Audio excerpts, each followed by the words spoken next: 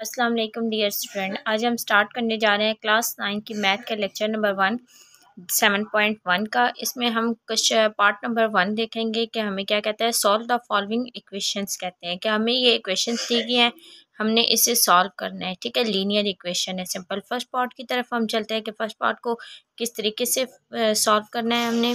First part हमारे पास आ जाता है two by three X minus one by two X is equal to X plus one over six.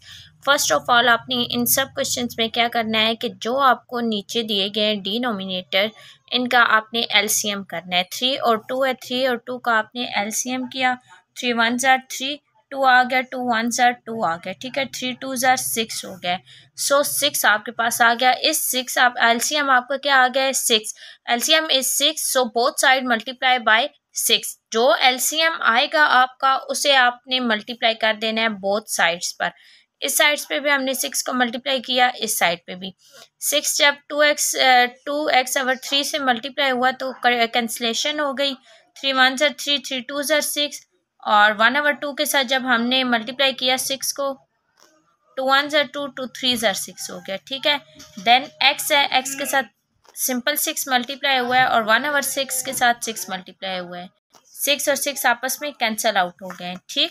अब हमारे पास answer क्या आ गया? टू और अंदर क्या आ गया? टू एक्स माइनस थ्री और अंदर क्या आ गया? एक्स सिक्स एक्स से मल्टीप्लाई हुआ सिक्स एक्स आ गया सिक्स सिक्स से कैंसिल हो गया, सिर्फ़ वन हमारे पास आ गया है, ठीक है? Two two tsar four three x is equal to six x plus one अब हम एक्स वाली जो है, जो सेम है, इन्हें प्लस माइनस माइनस फोर में से वन गया तो वन आ गया आपके पास, ठीक है? और फोर में थ्री गया तो वन आ गया सिक्स एक्स और plus one as it is हमने लिखा सिक्स एक्स ये प्लस एक्स है इक्वल के दूसरी साइड आके क्या हो जाएगा? Minus x plus one is equal to zero x और एक्स सेम है. सिक्स एक्स में से वन एक्स माइनस किया तो क्या आ गया? फाइव एक्स प्लस वन इधर वन प्लस हो रहा है इक्वल की दूसरी साइड जाके क्या हो जाएगा? माइनस सो माइनस वन आ गया. फाइव इधर मल्टीप्लाई हो रहा है, दूसरी साइड जाके क्या हो जाएगा? डिवाइड तो हमारे पास x is equal to minus one over x बस ये हमारा क्वेश्चन सॉल्व हो गया. यानी कि हमने एक्स की वैल्यू इसमें फाइंड आउट कर लिया है. तो ये हमारे पास सिंपल इक्वेशन है. उसे उसमें से आपने एक एक्स की वैल्यू निकाल लिया है. अब इसी के हम पार्ट नंबर टू की तरफ़ चलते हैं। X minus three over three minus x minus two over two is equal to minus one so इस क्वेश्चन में देखेंगे हम कैसे क्या करना है। उसी तरह थ्री और टू का एलसीएम मेथड किया। सिक्स आ गया आपके पास answer LCM is six so both side multiply by six ठीक है बोथ साइड पे आपने सिक्स को मल्टीप्लाई करवाया। इसके साथ जब मल्टीप्लाई हुआ, नीचे वाली चीज़ के साथ हमेशा कंसलेशन होती है और ऊपर वाली चीज़ के साथ मल्टीप्लिकेशन होती है। थ्री वन ज़र थ्री थ्री टू ज़र सिक्स आपके पास आ गया देन टू वन ज़र टू टू थ्री ज़र सिक्स हो गया, और ये वाले सिक्स हमने माइनस वन के साथ लिख दिया ठीक?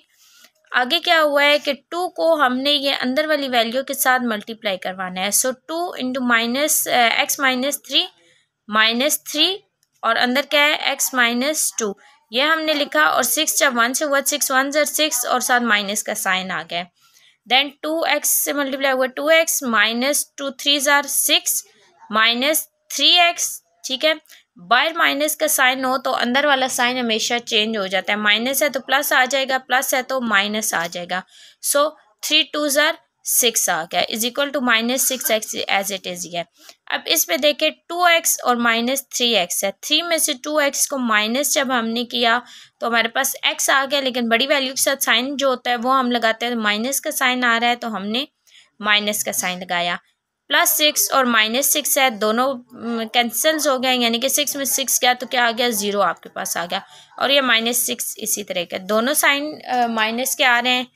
कट आउट हो गए तो एक्स की वैल्यू क्या आ गई आपके पास सिंपल सिक्स आ गई है।